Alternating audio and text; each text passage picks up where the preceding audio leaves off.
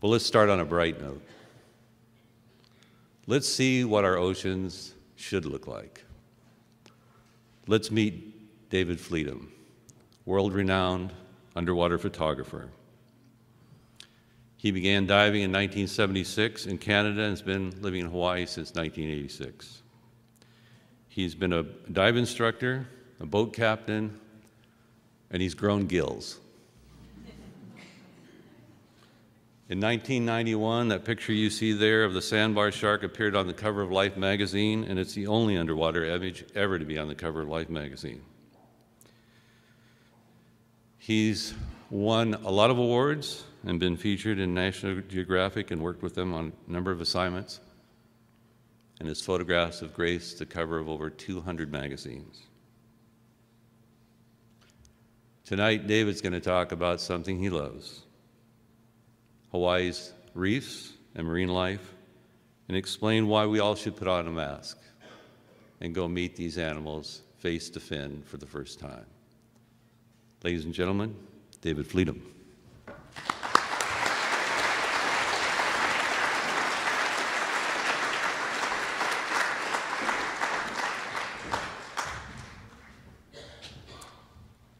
And just while we uh, get my presentation up here, uh, I think we should give Greg and Pacific Whale Foundation a, a big round of applause for all the events that they put on and everything they do for our state.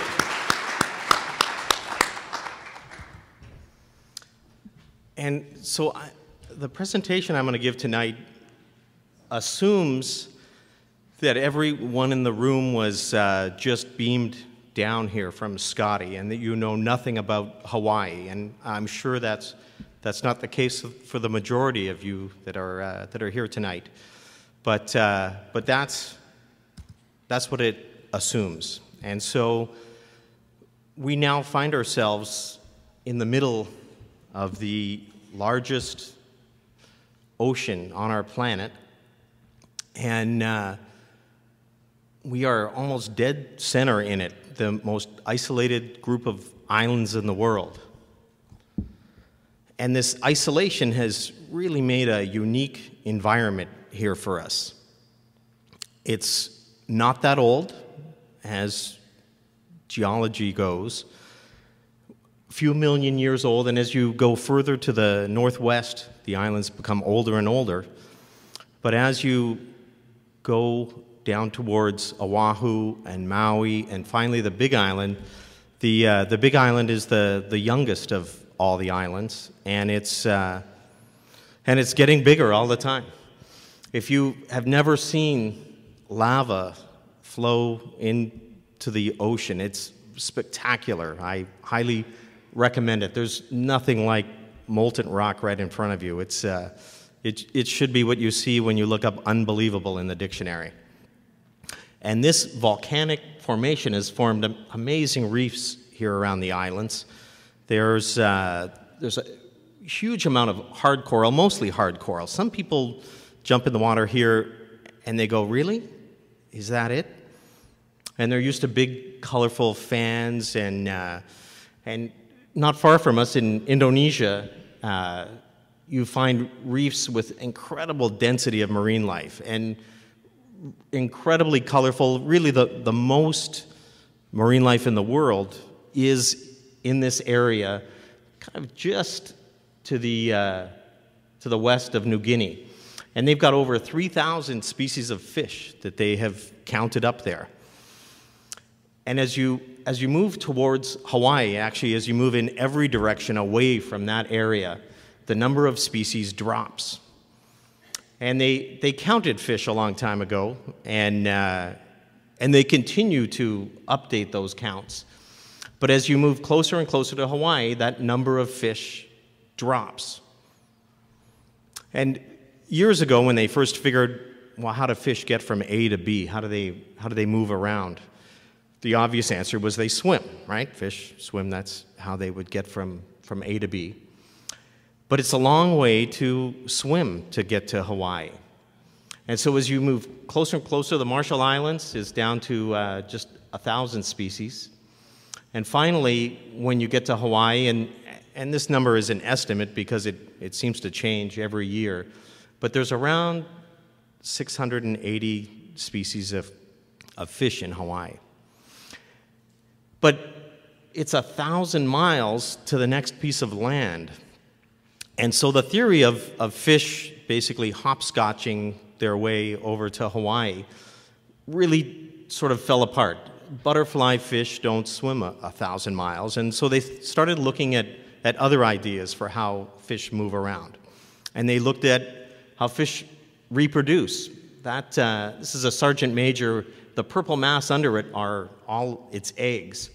And so fish lay eggs in various places. This fish is a male that holds them in its mouth.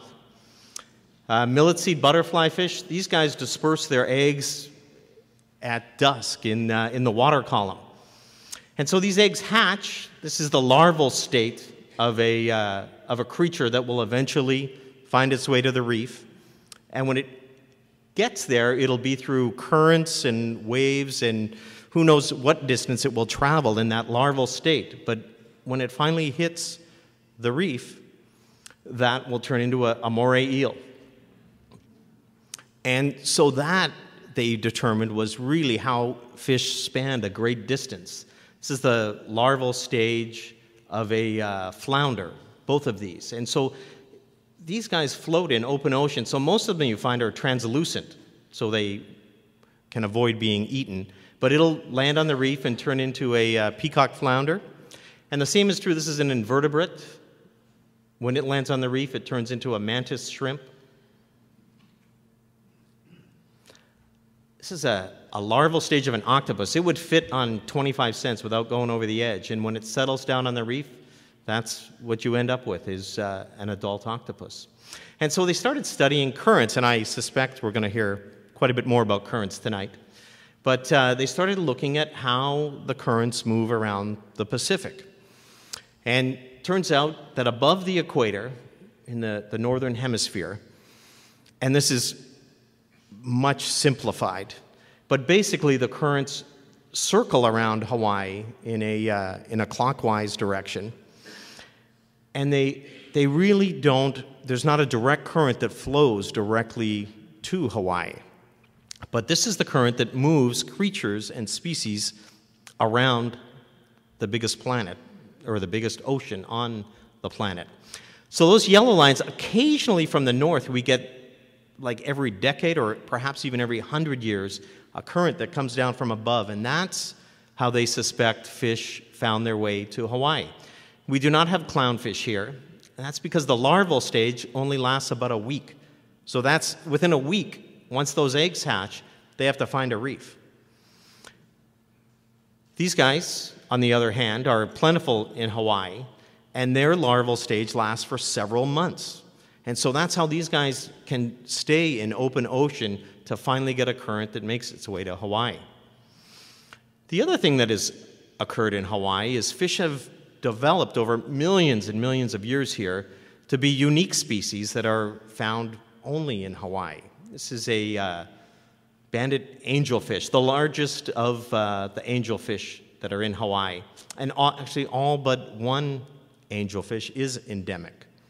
So there's a, another one, more common than the banded. This one is, uh, is maybe just two or three inches long, potter's angelfish. And on almost any reef, you can swim out and find these in Hawaii, but nowhere else in the world.